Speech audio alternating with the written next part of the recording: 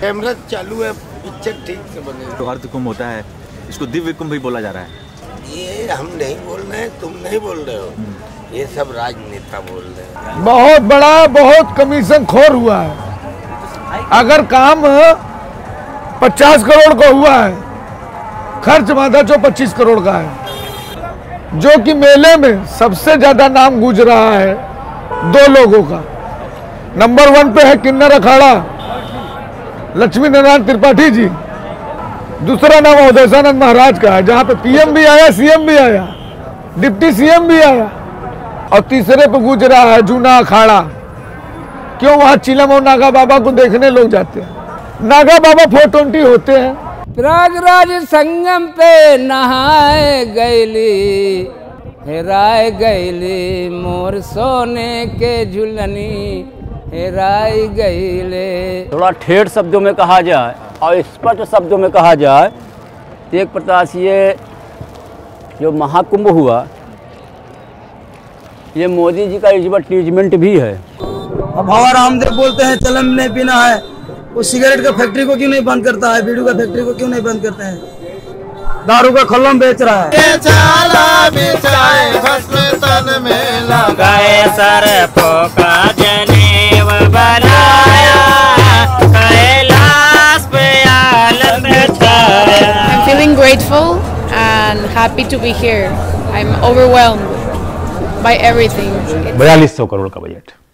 पिछले कुंभ का बजट जो महाकुंभ था तेरह सौ करोड़। इस कुंभ का बजट अर्ध कुंभ का बयालीस सौ करोड़ हमारी वेतन अगर बढ़ जाए तो हमारी कुछ खुशहाली आए अंदर। और वेतन मांग रहे हैं कोई सुनते भी नहीं हमारी बात। ठंडी में तो कहीं चार बजे उन रहे। कोई कपड़ा भी नहीं उस तरह देते हैं वो दे दिया पादर पादर के। ठंडी नहीं उसमें कटती है। वैसे काम के तौर पर कुछ नहीं हज़ार रुपए भी। यदि अगर पूछा जाए। क्या काम? रात में भी काम पड़ता है दिन में अरे वो तो ठीक है, लेकिन सबसे बड़ा गंदगी वाला काम है ना। हम लोग उचित मजदूरी की मांग करते हैं। न्यूनतम मजदूरी अपने आप में धोखा है।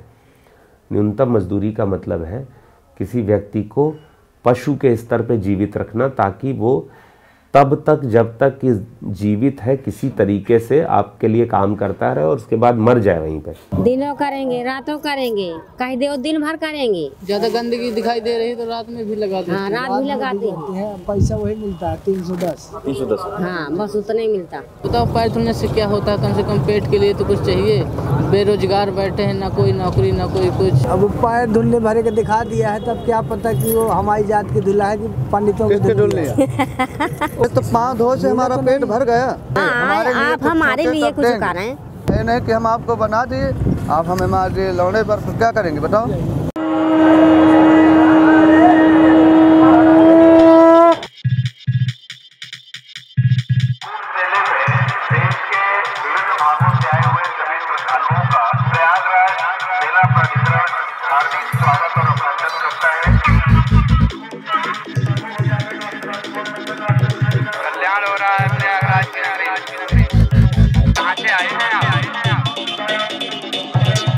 से लेने आता है, बापू को लेने कोई आता ही नहीं।